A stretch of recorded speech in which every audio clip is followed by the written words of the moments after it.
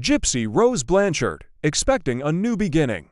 In a heartwarming announcement on Instagram, Gypsy Rose Blanchard revealed that she and her ex-fiancé, Ken Urker, are expecting their first child together. After rekindling their relationship, the couple is overjoyed to welcome their little one in January 2025. Gypsy Rose, 32, proudly shared a glimpse of her growing baby bump in a series of stunning maternity shoot photos.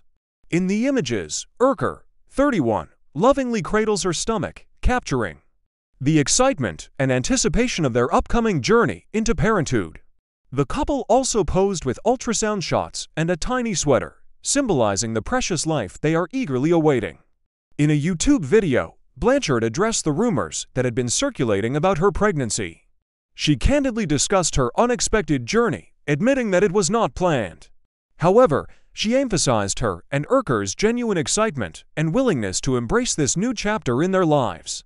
Blanchard expressed her gratitude towards Urker for his unwavering support and understanding, especially during her unpredictable mood swings.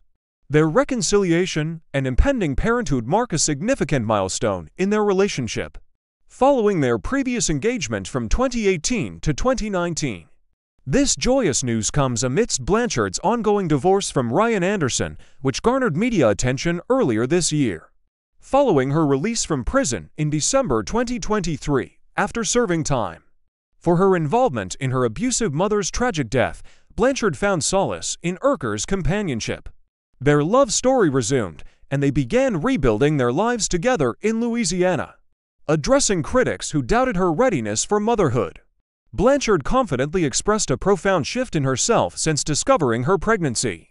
She tearfully shared her determination to provide the love and care she longed for as a child to her own baby. This miraculous blessing has reminded her that every twist and turn in her life has led her to this beautiful moment of becoming a mother. Thank you for watching, and don't forget to click subscribe.